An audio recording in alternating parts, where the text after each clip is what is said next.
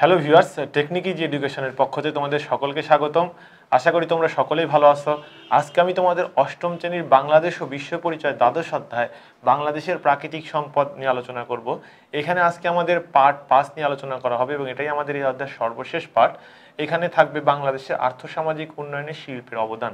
ইতোমধ্যে আমরা আগের পর্বে বাংলাদেশের শিল্প ব্যবস্থা সম্পর্কে জানলাম এবং দেখলাম যে সেই শিল্পগুলো আমাদের অর্থনৈতিক এবং অর্থনৈতিক এবং সামাজিক উন্নয়নের ক্ষেত্রে কী ধরনের কার্যক্রমগুলো পরিচালনা করতেছে। তো আমরা এর আগেও একবার বলেছি যে আর্থসামাজিক বলতে যে অর্থনৈতিক এবং সামাজিক ব্যবস্থাকে বোঝায়, যে আমাদের অর্থনৈতিক উপার্জনটা কেমন হচ্ছে, পাশাপাশি এই অর্থনৈতিক উপার্জনের ফলে আমাদের সমাজ সমাজ ব্যবস্থাটা কেমন থাকতেছে সেই বিষয়। তো আমরা এখানে দেখব যে বাংলাদেশের আর্থসামাজিক উন্নয়নে শিল্প কী ধরনের ভূমিকা রাখতেছে।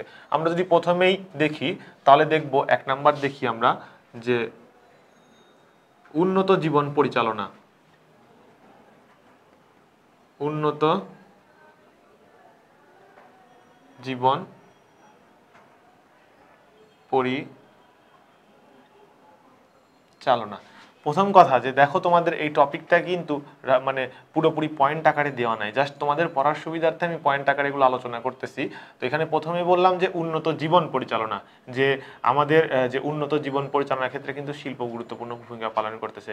এই শিল্পর ফলে শিল্পটা আসছে কোথা থেকে? প্রাকৃতিক সম্পদ থেকে।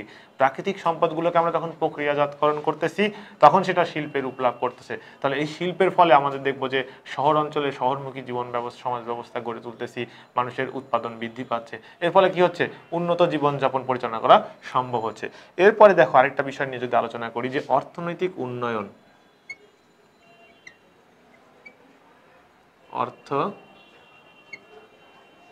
নৈতিক উন্নয়ন। এই শিল্পের ফলে কি হচ্ছে? আমাদের অর্থনৈতিক উন্নয়নটা ত্বরান্বিত হচ্ছে।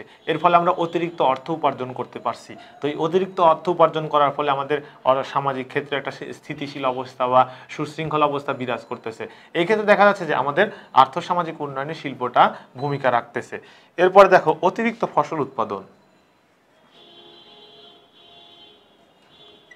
অতিরিক্ত ফসল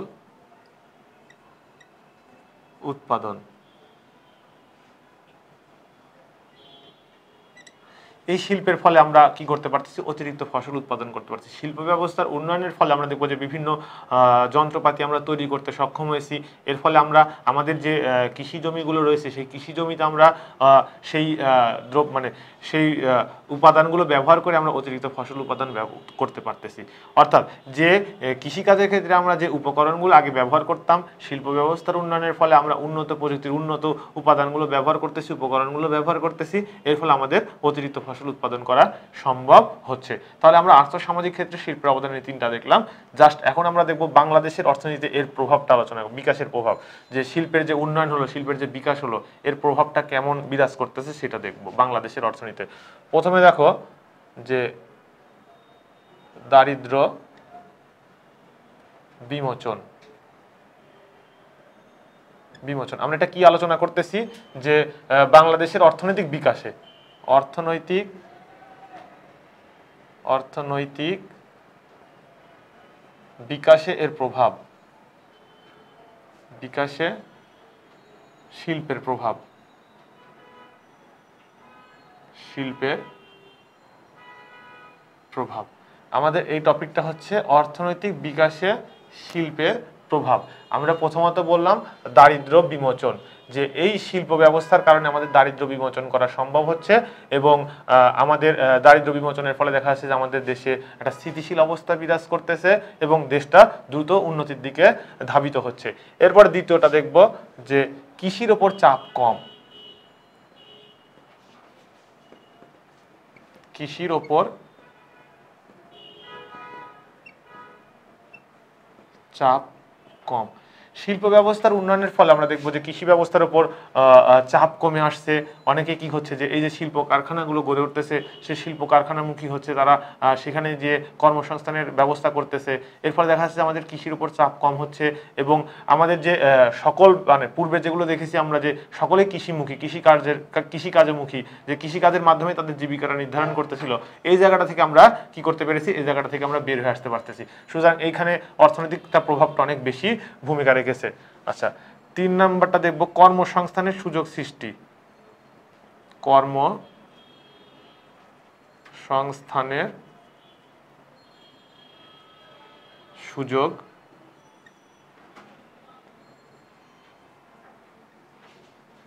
সৃষ্টি।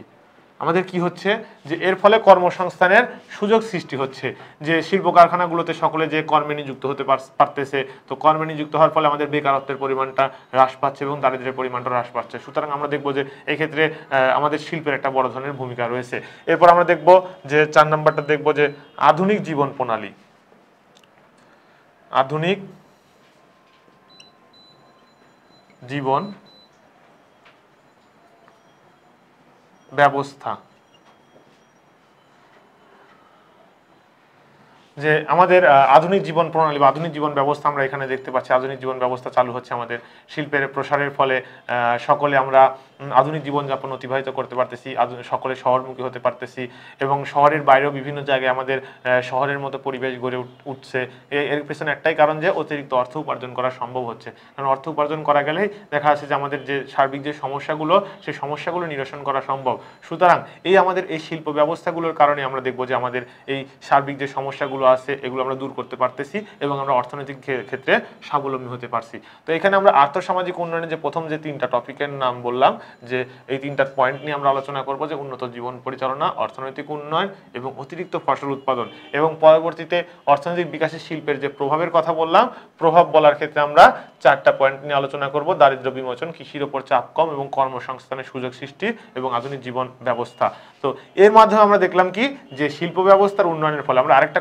লাস্ট আরেকটা কথা বলি, যে এই যে শিল্পের উন্নয়ন বা শিল্প ব্যবস্থা, এগুলো কিন্তু আমাদের প্রাকৃতিক যে সম্পদগুলো ছিল, সেই প্রাকৃতিক সম্পদগুলো আমরা যখন প্রক্রিয়াজাতকরণ করতে যাচ্ছি, আমরা আরও অন্যান্য কাজে ব্যবহার করতে যাচ্ছি, তখনই কিন্তু আমাদের এই শিল্প ব্যবস্থাটা চলে আসতেছে।